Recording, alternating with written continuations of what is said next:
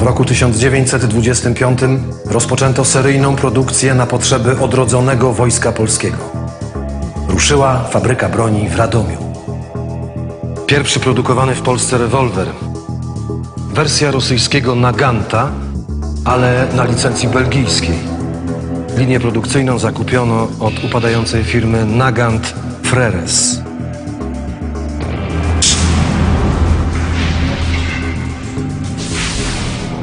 Radomskiego Mausera łącznie wyprodukowano 466 800 sztuk.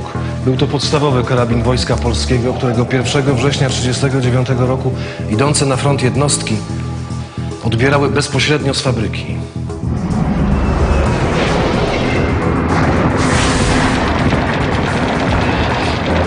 Legendarny WIS. Gdy Niemcy w 1941 roku ponownie uruchomili produkcję, próbowali uniemożliwić wynoszenie części przez polskich pracowników. Część produkcji i montaż końcowy przenieśli do siedziby Steyr-Puch.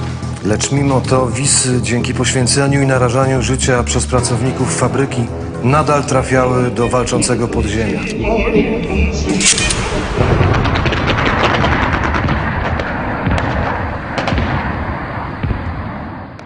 Rosyjska pepesza produkowana od 1952 roku w ramach sześcioletniego planu dozbrajania Wojska Polskiego. W ramach eksportowej bratniej pomocy w fabryce produkowano 12 tysięcy sztuk broni miesięcznie.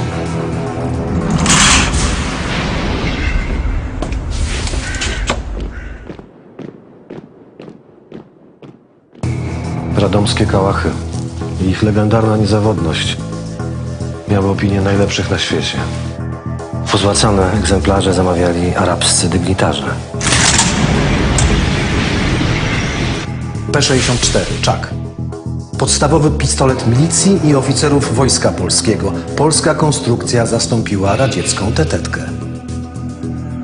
Unikatowy kompensator podrzutu, strzelanie z otwartego zamka, możliwość przeładowania jedną ręką. Nic na świecie tak nie działało. W 1979 roku skopiowali go Chińczycy.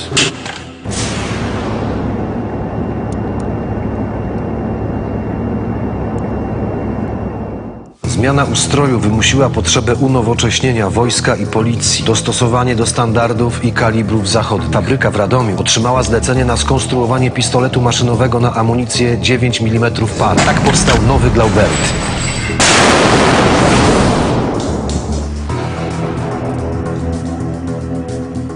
P99 AS. Efekt doskonałej współpracy i zaufania partnera niemieckiej firmy Walter. Pistolet, który uzbroił i unowocześnił polską policję. Beryl. Niezawodna broń polskiego żołnierza. Sprawdzony w boju i dzięki zdobytemu zaufaniu wchodzi na wyposażenie armii innych państw.